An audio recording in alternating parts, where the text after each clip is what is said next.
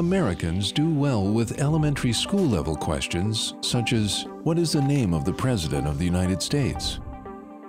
What is the capital of the United States? And who was the first president? However, of greater material importance are questions about the U.S. Constitution, legal and political structures of the American Constitutional Republic, and basic facts related to current political life and key political decision makers. When the Center for the Study of the American Dream conducted a survey of native U.S.-born citizens, they found 85% did not know the meaning of the rule of law.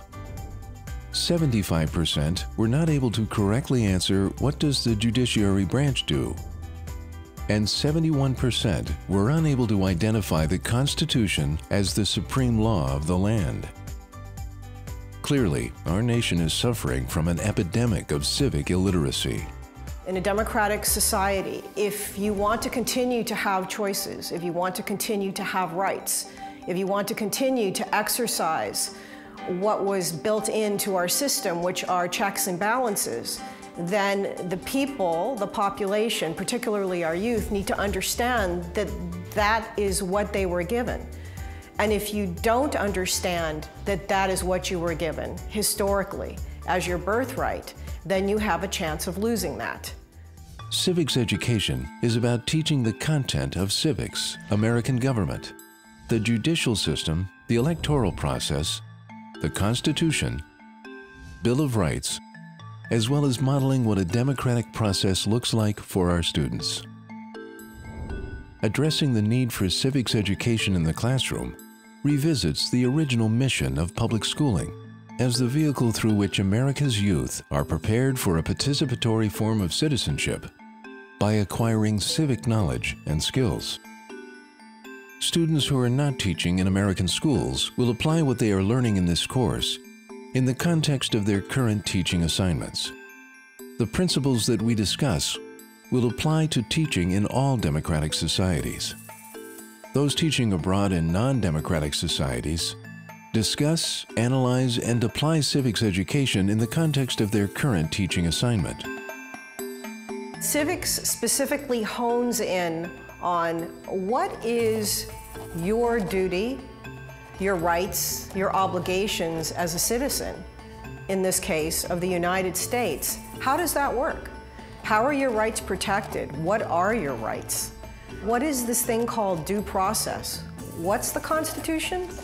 What are Bill of Rights? And what's happened is our students don't understand how they are related to this thing called democracy.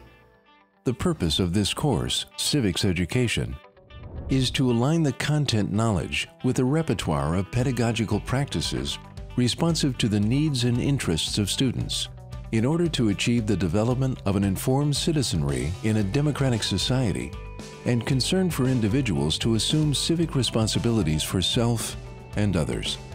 If you think about just this last election, if we were to do a research study on how many people actually understood what they were voting for, did they really understand what was on the ballot? I would say highly unlikely. And part of the issue that goes back to the literacy issue of being able to understand what you are voting for. Civics education is also tied to literacy education. Students will need strong literacy skills to understand the rights they have.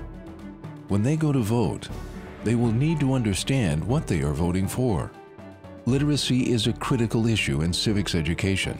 This course offers a solution to our nation's civic illiteracy by addressing the need for civics education in the classroom and following our nation's original mission of public schooling as the vehicle through which America's youth are prepared for a participatory form of citizenship by acquiring civic knowledge and skills.